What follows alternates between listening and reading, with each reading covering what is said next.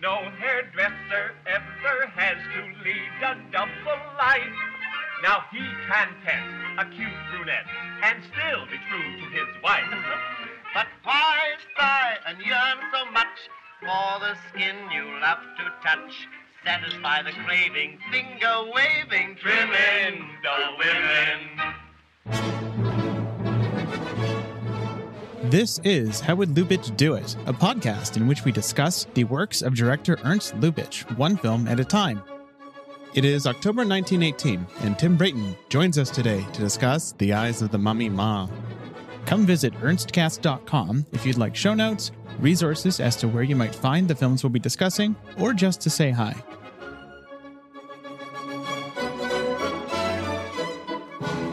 Welcome, everyone. We are here with Tim Brayton. Tim, do you want to introduce yourself to either new listeners or people who happen to listen to our previous podcast? I would love to. Yeah. So uh, I'm Tim. As, as Devan just said, I am a film critic slash podcaster over at Alternate Ending, which is alternateending.com. And, you know, I've been uh, writing reviews on that site or on my previous blog, Antagony and Ecstasy, since 2005 a member of the Online Film Critics Society, and I am also a PhD candidate at the University of Wisconsin Madison in their film studies program. A little bit of modern cinephilia, a little bit of history. Well, welcome and thank you for so much for making the time to talk about this uh, possibly the most arcane movie that we're going to cover in this entire show.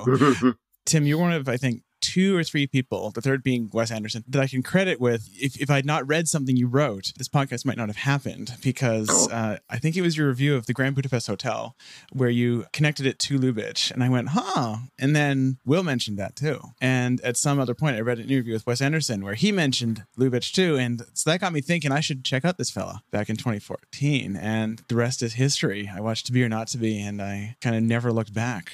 I'm, I'm I feel unusually honored. I mean, obviously, every critic is happy when they've influenced anybody's film going choices, but the fact that I was instrumental in getting you over to Lubitsch is like, well, well, I was doing the Lord's work that day. Indeed. So uh, then I, I want to throw this back to you. Um, how did you hear about Ernst Lubitsch? Why should people care about this director who died, what, 75 years ago? What made you want to take the time to talk about one of his most obscure, hard to find, and questionable movies? Uh, well, I, I think I can start with the, the last question first because it's going to be, I think, probably the most straightforward. Previously to you announcing this project, I had not seen any of Lubitsch's silent German films. I'd seen a couple of his Hollywood silents, and mostly, as you know, I'm sure is true of a lot of people, uh, sort of came to him through his his talkies, his uh, pre-codes in Hollywood. It felt like that was a pretty big lapse in my education because I do love this director very much, and so part of it is just like, well, you're giving me an unavoidable excuse. like I, I have to watch at least this one movie because I've I've been given it as an assignment. When did I get into him? Now that is a hell of a question. Uh, it would have been a long time ago, probably when I was around 12 or 13. I think I was 12 years old when I watched Sunset Boulevard for the first time, 13 when I watched Seven Samurai for the first time.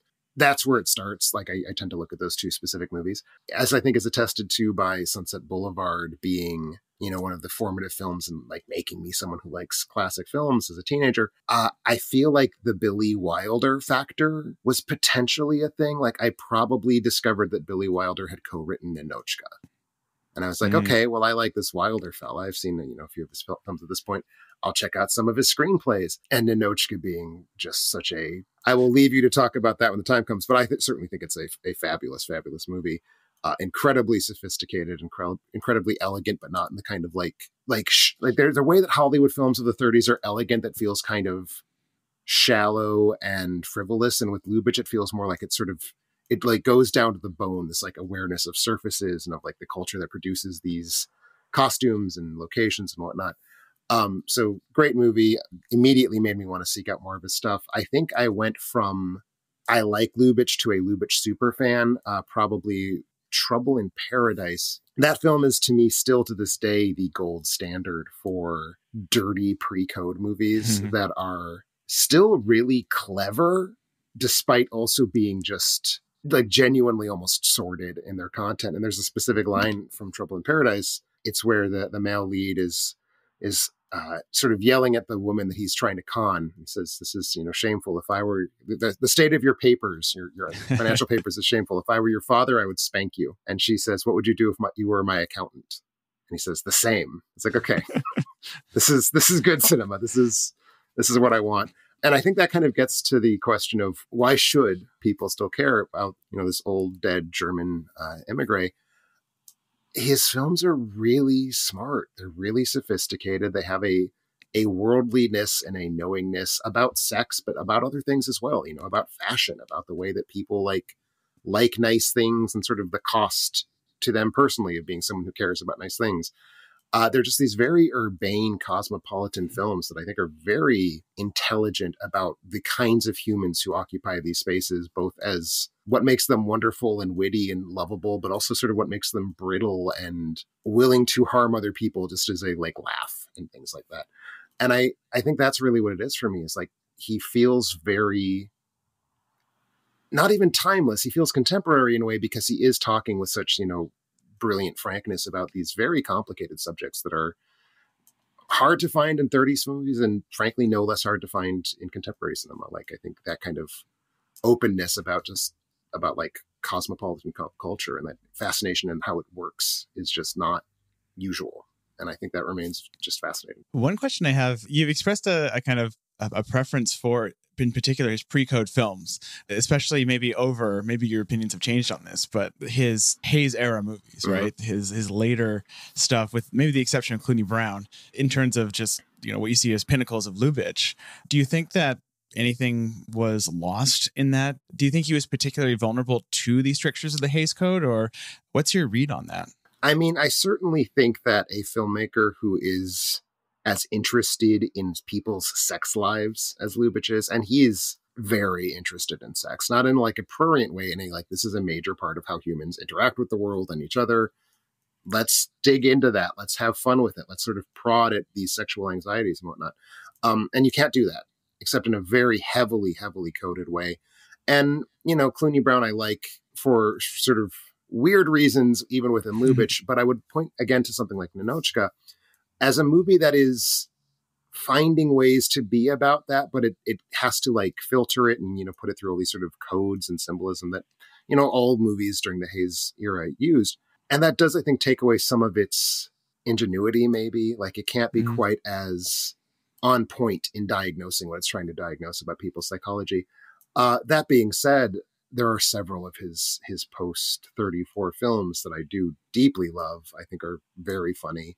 I don't love them as much. I mean, that's that's quite true, and, and a big part of it is that I think he lost a little bit of that sort of knife sharp incisiveness with, uh, mm-hmm. with which he sort of diagnosed cultural mores. I still think there's there's a lot of really beautifully constructed jokes. I think there's a lot of great performances, and certainly uh, in a film like Ninotchka or a film like To Be or Not to Be, there's still a lot of very intelligent social commentary. It's just it's taken a different form. As I've become more and more familiar with the all the various eras of Lubitsch, um, one thing that strikes me is his ability to bend to circumstances. Um, and one of those was, you know, the Hays Code, and but also sound and just moving to Hollywood, being someone who who's working in their non-native language. Mm-hmm. This kind of touches upon the eyes of Mummy Ma, his ability to, or his willingness at least, maybe not his ability quite yet, hmm. to shift modes and genres. Because up until this point, he had been almost exclusively, I think, give or take a lot, you know, a lost film or two, where I have no way of knowing, um, a comedy director. And this is his first or oldest surviving, we should say, uh, drama film. And this sparked off a series of essentially dramatic historical epics. Mm-hmm. That was what the market demanded. he listens to what the needs of the local economy, what what the market wants, what the audiences want, and, and works with that. And and we can see that throughout. So that's that's fascinated me. But no, I, I think it's telling in that context. Um, he spends time in the 30s as the head of production at Paramount. Mm-hmm. He has a sense of what audiences want. Like that's not a position that an artist gets. That's a position that a good savvy businessman, someone who can read the market, someone who can read audience tastes. Uh, that that's the person who gets that job. I think it's very telling. Um, you know, as you point out, he is not a native speaker of English. I don't really know how strong of a command he had of the language later in life. Um, again, to go back to Billy Wilder, one of his regular collaborators. Uh, Wilder never really had a great handle on English. Like he always Mhm. had a sort of very, very pronounced uh, accent. We have this, you know, immigrant doesn't speak the language as fluently, obviously, as a, a native-born director would, uh, who basically he's one of the co-inventors of the musical, which is kind of the Mhm. celebration of lyricism and you know singing and sound and all of these things.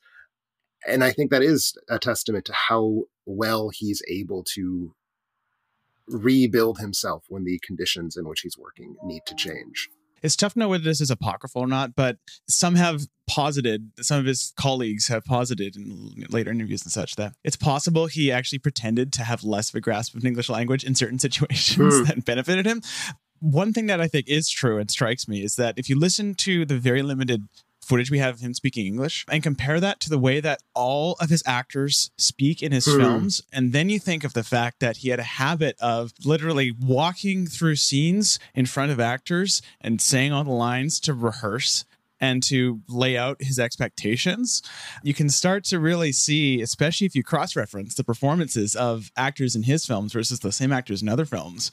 In Lubitsch films, they all talk like Lubitsch That's amazing. They have a cadence to them that I I haven't heard anywhere else, and it's subtle, but I'm convinced it's there. If you listen to Carole Lombard talking To Be or Not to Be versus her work in like all the other, like, My Man Godfrey, you know, 20th Century, et cetera, et cetera, different cadence, distinctly different. If, if we can just dive right in, I don't know how much backstory you want to go.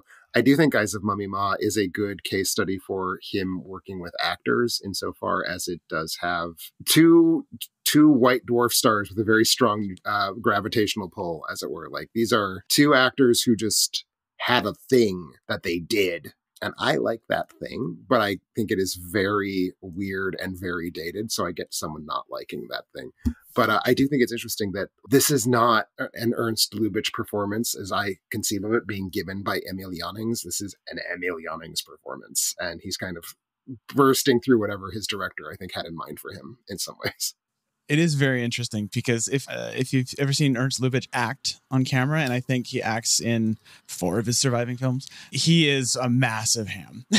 Okay. he is just like utter ham, and and it works like in the last film. Uh, I don't want to be a man. Ossi Oswalda is also a ham, but it works. I mean, it's it, her character is designed to be hammy, and in the context of this rel, I mean, this is a melodrama. This film, um, in the context of this like over the top theatrical drama, it's interesting. Uh, my reaction to really changed scene by scene because Mhm. on one hand, you know, so basically Emil Jannings plays Radu, who is this Egyptian. He has taken Pola Negri, who plays uh, an Egyptian woman, prisoner in a tomb for two years, and she is then sprung by a German traveler. Emil Jannings in full blackface, which must be said, is it- is at his full like arm wavy ham.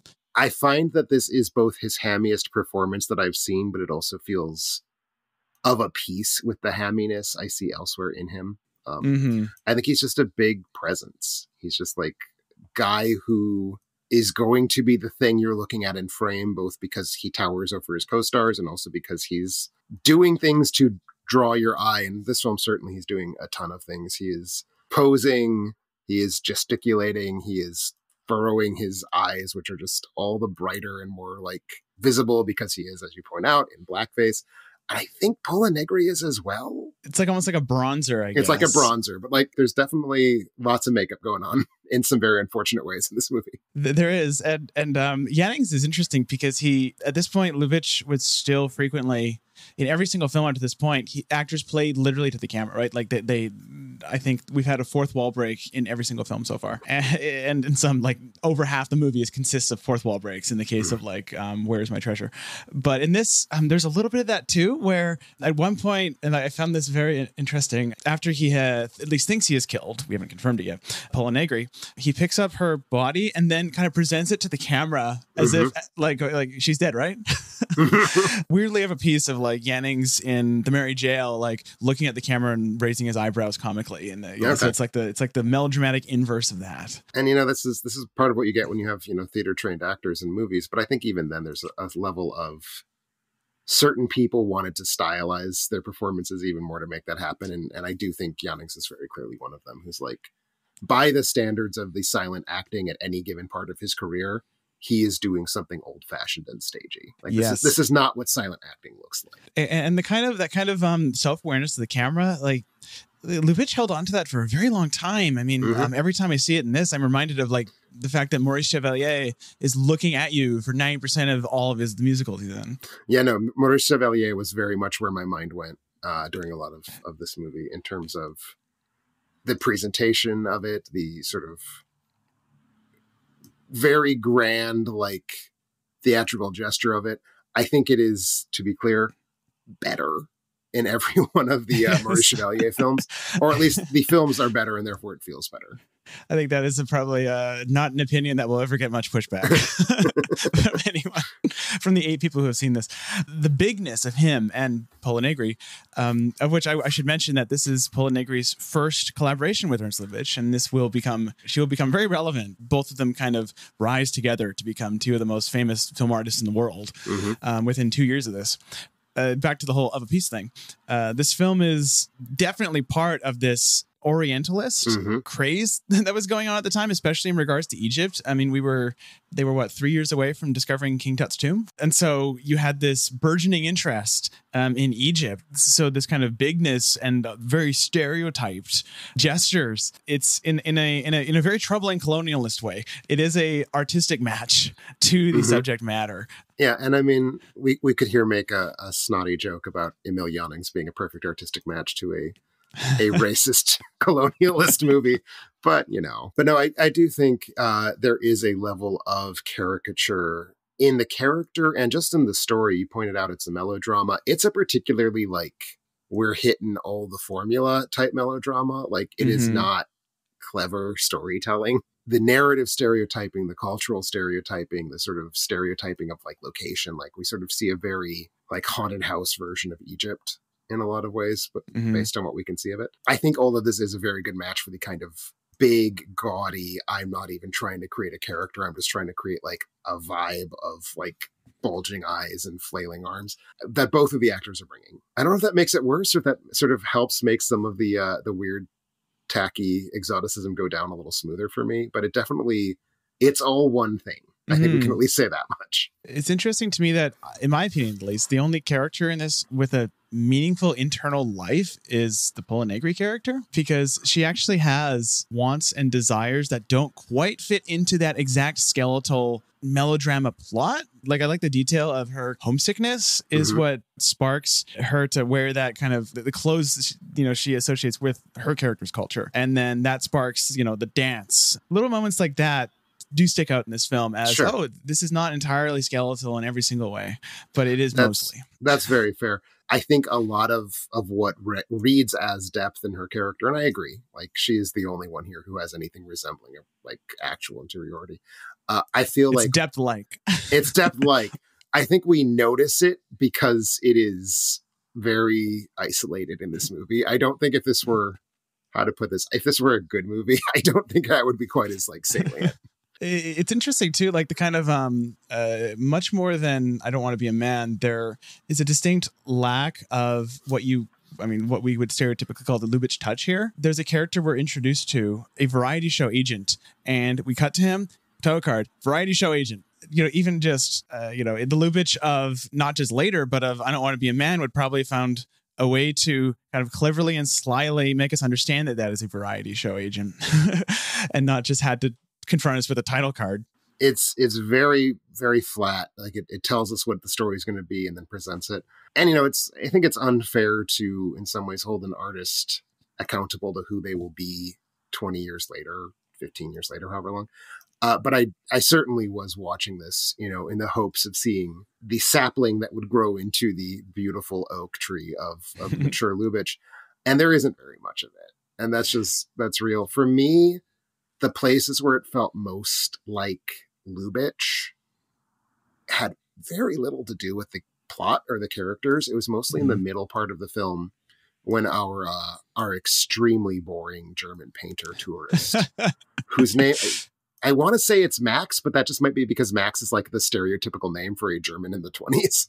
So our painter, you know, brings Ma, the Pola Negri character, who has been pretending to be a mummy, brings her back to whatever city it is they land in. And And then there's like a kind of tour of the upper classes, like upper middle classes, like the sort of bourgeois spaces where like interesting cocktail parties happen and humans are paraded around as like, oh, look at this exotic specimen I found in Egypt. And that is the place where this feels like a movie directed by anyone with any kind of personality to me is like the precision with which he kind of understands those spaces and the people who move through them and how they kind of inhabit three dimensional space. You can see a growing ambition with his crowd compositions in depth. Absolutely. The crowd specifically. He has this way of um, choreographing groups of well dressed people in ways where they all move as a single form. Mm-hmm. That is, it was, it was significantly more, I think, interesting in previous film. I don't want to be a man, but it's, it's here. So there's that. One other thing I found interesting was we can uh, use this as a bridge to get into like the, the quality of the transfer and the state of it too. The rate of the editing was massively faster. Massive. The average shot length is feels like half of I Don't Want to Be a Man, Oh, especially in terms of establishing shots, where oftentimes it'll it's like establishing shot. 24 frames later, we're, we're out. And there was a couple cases where, to me at least, I'm like, oh, that's a real change, really lost some frames, you know? But there's other cases where there's a few in a row where I'm like, wow, he is rocketing through this coverage basically. Mm-hmm. And that was new. And I and I wonder whether that's again, it's it's it's this is where we can really tackle the transfer. It's hard to tell what is a fault of the fact that this is a 57 minute, you know, a very rough version of of a film that was likely at least a little bit longer, and what is actual artistic intent on Lubitsch's part. So we watched the same version. I, I do not exactly know its provenance. It was a pretty beat up copy of the film. We we chatted about this before the show, but uh, there is a plot relevant letter that is shown on screen for quite some time, and it is even granting that I don't have any German, I wouldn't have been able to read it if I could see it. It's not legible. Like I could make No, out individual letters, but I could certainly not make out words, let alone sentences. I, tr- I tried sharpening it and like upscaling it in, Proto- in Photoshop, and it was Just nothing. Not a chance. Not a chance. There's, the info is not there. So so that's kind of I think the most egregious case, but you know one of the things certainly that I respond to in Lubitsch in all of his films that I've seen, you know, his silence, even the, the handful of silence I've seen, he is a director who is very attentive to the physicality of his sets. Mm-hmm. right? Like he cares about, again, he cares about the places where things happen. It's the reason why we think of the mature Lubitsch style as being about people closing doors behind them, right? Like he cares about his sets. And there's this, you know, Egyptian set, like the, the tomb where the mummy Ma like hides and scares tourists, and that's how they make their money. It feels like it's supposed to be atmospheric. It's, it feels like we're supposed to be like descending into this like extremely ancient, cobwebby, damp, you know, all the all the terms you come up with out of this, you know, sort of exoticized horror literature from the teens and 20s. Uh, but it, it doesn't read that way. It just reads as like a bunch of smeary gray blocking. And especially because you got Kurt Richter on the production design and with the UFA money. Mhm. you know, the, this, this is massively higher production value than anything Lubitsch has done before. And uh, it would be lovely to see it. It would. It's tough. And there's also, you know, as you pointed out, are we really seeing the editing or are we seeing some sort of reconstruction? And even, you know, when you were talking about the sort of crudeness with which he introduces the, uh, the variety show agent, we don't know that that title card was Lubitsch's intention. Like, Mhm. we can assume, I think it's probably a reasonably fair guess given the way that sequence is set up. Like there's not really anything else introducing that character. But title cards get interpolated, right? Like, I mean, even at the time, like different title cards were used in different markets based on, you know, local. Would an American be able to understand this German thing? Well, maybe not. We have to put a title card in. But then also, you know, as we lose reliable prints of the originals, often, you know, people make their best guess. And I think a title card would probably have gone here. And I know, in a sense, we are always when we're watching a silent film in a lot of ways because because silent films i think tend to seem like they're in better shape than they necessarily are. And I, i'm Mhm. thinking of this and i'm going to go on a slight tangent here. I recently watched for the first time or rewatched the entire filmography of uh, charles chaplin. And when i got to the gold rush i watched the 1925 version. But of course the 1925 version as we watch it today is not the 1925 version. It's a reconstruction from the 80s or maybe the 70s. It's someone's best guess. It's a very, you know, intelligent film scholar's best guess that this is probably what it looked like in 1925, but we aren't watching the film from 1925. And I think that's true of a lot of silence.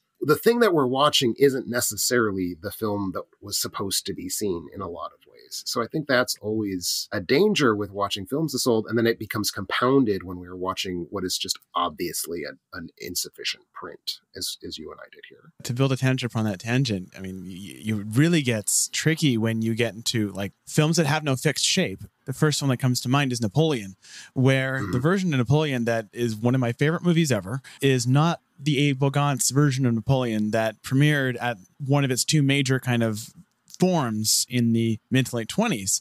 It is the collaboration between Kevin Brownlow and Abel Gance that occurred over a period of decades Mhm. in the later half of the 20th century that created the film I love.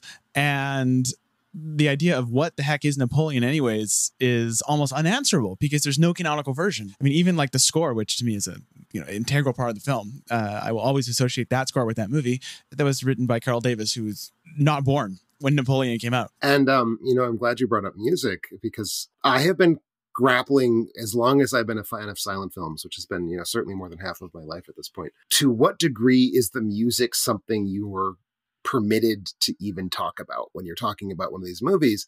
Because it's like it is not the fault of Ernst Lubitsch and anyone else working in 1918 Berlin who like they did not pick this music they did not slap it on that was composed in 2011 i think. But it is part of the aesthetic experience and you know we're reminded when we study silent film these films were not meant to be seen silent. They were meant to be seen with music. That was meant to be something that augmented the experience. The filmmakers relied on that and hoped and prayed they would get you know actually talented musicians creating those scores for them uh, in the cases where there wasn't a dedicated score which the version of this film I watched did have a score. And again, it is not Lubitsch's fault that it had this score, but it certainly did not encourage my enjoying the experience of watching it. Uh, You're gonna love the doll because I had to turn that score off. It's a great transfer, Wow. but Anya and I were, were watching it and we were like, we cannot countenance this score. Holy Lord. It makes uh, Rick de Jong's work in for this score look like a Beethoven's ninth. That's horrifying. Watch the doll. Like I, I, I put on like the nearest Mozart symphony at hand Just to have just to have something, yeah. something and uh, it significantly improves the experience and it's a i think it's an unbelievably good film but it, it does i mean as a counterexample i mean uh, student prince in old heidelberg i don't know if you've seen the thames tv version of that that um, brownlow and carl davis worked on which is easily my favorite lubitsch silent and I still cannot separate out my feelings from the score I, I have had only a very small number of films of silence where I just could not deal with the attached score, but my God, it can it can torpedo the experience of watching it. Sort of my go-to example of an I cannot watch this film with this piece of music. The Buster Keaton short, One Week, his first like solo short after he parted ways with Fatty Arbuckle. Mhm.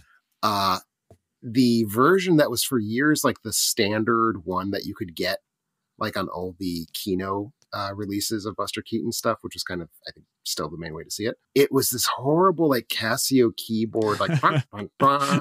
and like it's so cheesy and corny. It like steps on the jokes of what is, I think, one of his funniest films.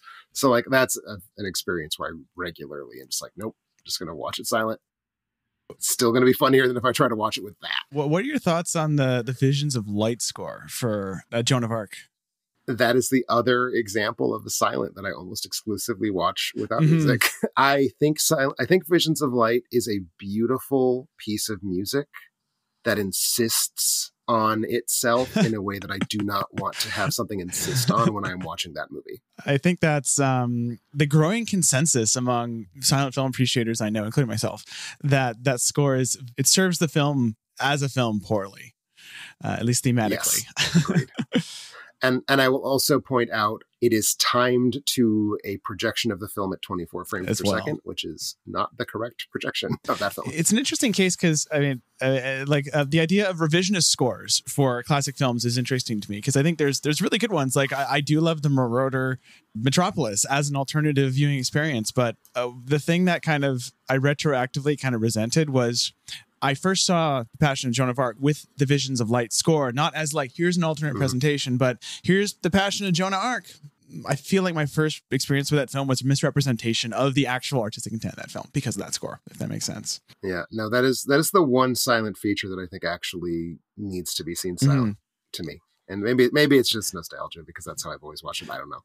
It's all about the just the intensity of faces and like no music is going to be able to to augment that. It's just going to get in the way. But uh, we have we have done a very good job of running far away from the eyes of Mummy Ma. Why would that That's be the case? Good. It's, it is. I mean, I mean, for me, the most interesting part of the film is truly the fact that this is such a turning point for Lubitsch as a as a maker of productions, mm-hmm. right? It's things are only going to get bigger. It's, I mean, arguably climaxes. I've not seen all the films from season two yet, but you know this as far as i know climaxes size wise with with the uh, loves of the pharaoh mm-hmm. in, in, a few years and like eight episodes from now um, where you have these giant you know cast of thousands crowd scenes also in egypt this film is important because it sets the trajectory for lubitsch the director of epics which is strangely enough, the thing that he would spend the rest of his Berlin career being most well known for. Mm-hmm. It wasn't like The Oyster Princess and Wildcat. It was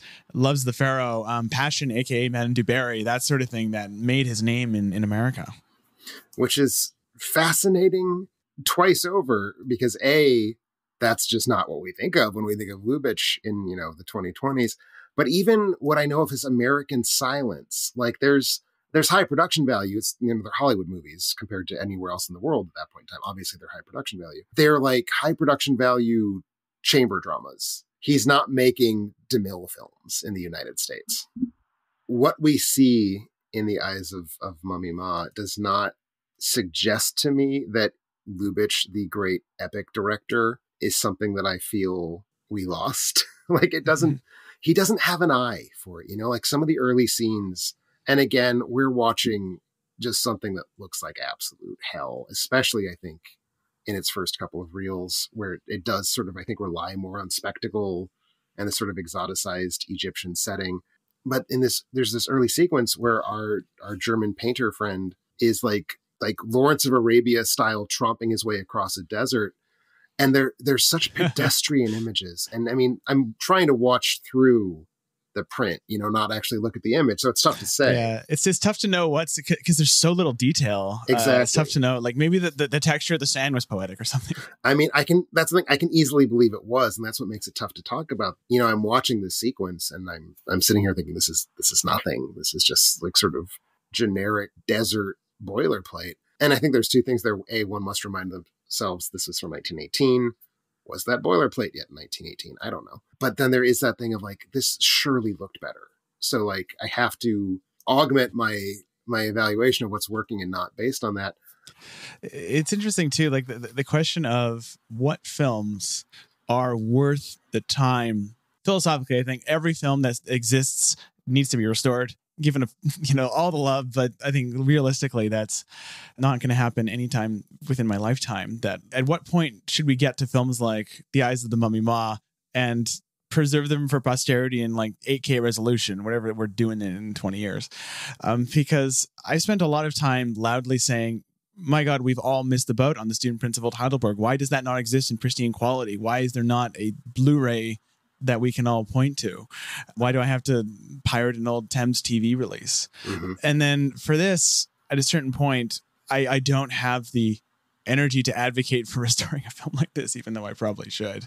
I I completely get that, and I think that is a, a, good question, and I I fully agree with you on the philosophical point. Like any movie that can get restored deserves a restoration, and there's part of me, you know, as a as a historian, like I I want access to the middling films, like the the just the mm-hmm. average stuff, the 1910s version of like Black Adam or Morbius. You know, like I want to know what that looked like for those people at that time. Like it's easy to say, like let's you know look at the canonical masterpieces, but we don't learn about a film culture by looking at the canonical masterpieces. We look at it by looking at sort of the cross section of of mediocre shit, basically. Uh, so part of me is like, I want that restored. Mm-hmm. And part of me is like, you know, a, a major filmmaker like Lubitsch that we're going to do as we're doing, you know, deep dives across his entire chronology. Like anything that still exists, we should preserve. And I think that's certainly been a, a tendency we've seen with um, Alfred Hitchcock. There was some years back two reels of a film that he like assistant directed or something. We discovered it was like we have to preserve the two reels that were assistant directed by Hitchcock. It's like, do we? I'm not sure about that. I do think there's an intrinsic interest there. It is tough to be like, I think we should spend the $5 million necessary to make this film more pleasurable for the 15 humans who want to see it. And that is a tough decision to, to sort of grapple with. You know, I spoke with um, Dave Kehr from the MoMA um, about his the kind of restorations that he was involved in of the four Lubitsch silents that he, uh, I think they were Marriage Circle, Lady Windermere's Fan, Forbidden Paradise, and Rosita. And I asked, Oh, why haven't you done Student Old Heidelberg? And his basic answer was to paraphrase him. Th- those four films took so much time and capital. Basically, we, we literally do not have resources to get to everything. And that makes perfect sense. And that's the answer I was expecting. But it's an interesting thing. How do we triage these things? and I've seen uh, two of those restorations they played at the film festival here in Madison. And Rosita is to me just an absolute phenomenal thing. And it's a phenomenal thing we wouldn't have access to if it hadn't been restored. And would I have known in advance, like, here's this random Ruritanian melodrama comedy? Like, who gives a shit? But it's the same time, it's like, well, I do. Now that I've seen it, I want it. You know, a little bit closer to home, you know, attached to to the school where I'm I'm doing my, my PhD work, we have a fairly substantial film archive, the Wisconsin Center for Film and Theater Research and they recently digitized every copy of the one season television show that they have like for some reason every every copy they have every episode a copy of it um, i don't remember what it was called but it was basically a a, a police procedural where it was like the parachute corps essentially like mm-hmm. these two skydivers had to skydive in and save the day and it was always like skydive themed crimes, basically. and it's like, hey, how could this conceivably have had enough legs to even produce one full season? But I was able to see an episode because again, they digitized the entire run and they were like, look at what we have now. And it's like, this is actually a fascinating relic of some weird moment in culture where they're like, you know what's cool? Skydiving. And I'm grateful that I was able to see mm-hmm. it. I'm grateful to know that that moment in cultural history existed. Is there intrinsic artistic merit to this show? Absolutely not. It was very silly, but I'm glad it exists. I, I think that maintaining that cross section is so important. I mean, the whole Sisyphean enterprise of this podcast, you know, spending the 1st mm two darn seasons on a uh, largely, I mean, at least half aesthetically not all that major mm-hmm. series of films. For me, there's intrinsic value in, in knowing and being able to trace the trajectory of the great artists. Absolutely. And, you know, I, as I mentioned, I rewatched all of Chaplin uh, recently, and a lot of those early Chaplin shorts are just the same old damn slapstick over and over again. Uh, very, very flat, very whatever. But I'm glad I did it. I'm glad I got to see that sort of shift across his, you know, years working in silent short films. At the same time, I have to ask myself, like, I'm so glad that these Chaplin shorts exist in such pristine condition. But do I really want to say, like, if we're faced with the conundrum of, well, we can either save this really mediocre Chaplin short film, or we can use those those resources to, you know, we just found this print of Four Devils and we can save that instead. It's like, well, obviously we're going to prioritize the masterpiece. Love how Four Devils is such this is such a touchstone of this. It's the first thing I thought of immediately too. How is it not? Right? yeah. It's like Four Devils and London After Midnight are the two, and by all accounts, London After Midnight wasn't actually good. So it's Four Devils. Actually, I have a question. Obviously, discounting films that we know are likely lost, like films that you think are gettable. Mm-hmm. Of that universe of films that are gettable but don't have a decent restoration in the silent era, if you could pick one, make, make a wave wave a magic wand and go, you're getting a 4K and it's getting the worldwide release. Would you have a pick? Oh, I would need to think about it. I, I have I have so many that I want. I think I do. Actually, it's an obvious pick. I think it is shamefully hard to see either of the extant cuts of Greed. There's there's the there's the theatrical cut from 1925 and the the borderline unwatchable reconstruction of what a longer version might have looked like if we still had that footage. Again, neither version. I don't even know if Greed ever made it to DVD. It certainly didn't make it to Blu-ray. It's funny. I always thought of Greed as a film that had at least some decent representation, but the four hour reconstruction was such a big deal when it happened in the mid 90s, but we're still, you know, it was the VHS age when that restoration happened And that's like one of the films that everybody agrees is like a stone cold silent film masterpiece, and it's tough to find. And so part of it's like, well, we should be able to find that, and part of it's like, so think of all the films we we don't even know that we don't have because they're not greed. Exactly. I mean, uh, there's, so, I mean, you can lump them into so many categories, right? Films that probably don't exist anymore, films that are probably languishing in some storage facility somewhere, someone's basement, that are gettable if we had the if we had unlimited funding or whatever. Mm-hmm. And then there's stuff that exists, is out there, but no one has bothered to maintain it. So, I mean, there's a decent amount of movies where the only version available digitally is this horrible TV rip from 20 years ago, and there's no other version because mm-hmm. some warehouse burnt down. And yeah, I feel it's almost easier to ask the question or answer the question what silent films have been presented appropriately because really, mm-hmm. I feel like that list is heavily dominated by Chaplin and Keaton shorts or, or films in general. Mm-hmm. Once you get past that, like those silent comedians, silent film has not been treated with love. No you know, there's there's exceptions. Like the the Murnau Stiftung has done some really great work keeping a a lot of silent German films sort of in circulation and in pretty good versions. I got the Brownlow restoration of Napoleon, so I'm kind of happy forever because I, I thought I'd never get it. Yeah, I was, I was about to turn the question around on you. What would your your one film if you had your magic wand, or do you have it? Uh, I do have the the one. Like Napoleon was for I, I saw in 2012 at the San Francisco Silent Film Festival, or like an offshoot in Oakland, and that was the best movie experience of my life. Then it took it took like 2017, I think, was when I finally got the Blu-ray from. It had a limited run from the BFI, region two only, right, or whatever the the uh, UK's region, and I always forget because I have a region for flavor. Yes, B. That was my like you know Moby Dick. Yeah. so I feel like I got my wish, but right now it's definitely Student Prince because that film it's it's an unsung masterpiece of my favorite director, and it exists in mildly watchable form, but it's clearly like a a, a copy of a copy of a TV broadcast, right? Mm-hmm. um, which is 100%. a real shame. And you know, and this is this is not a problem that's limited to silent films either. I mean, I'm sure everyone listening to this knows that, but like there are plenty of recent films that have just been allowed to kind of rot. I mean, mm-hmm. the famous example being Star Wars. The the Star Wars negatives were almost unusable when Lucas went back to polish it up and add CGI gim cracks in uh 1997. And I mean, if a, if a film like Star Wars cannot be appropriately archived and preserved, what hope is there for literally any other film? Look at every uh, Hitchcock VistaVision film except for North by Northwest, I think. Mm-hmm. Hundred percent. And I forget who had control. I think it was MGM, like kept North by Northwest in this like in you know a proper vault. Right. And uh, that film looks incredible. And all the other stuff you've had Robert Harris beating his head against the wall for twenty years to restore. Exactly. Uh, exactly. One thing that we can say on the silver lining here is that I believe every single Ernst Lubitsch talkie is around. We haven't lost any of them. Oh, duh. I was going to say, have we lost any of his American silents? It's like we lost the Patriot, obviously. Yeah, that's the big. That's the one. If I, that's the yeah. big one.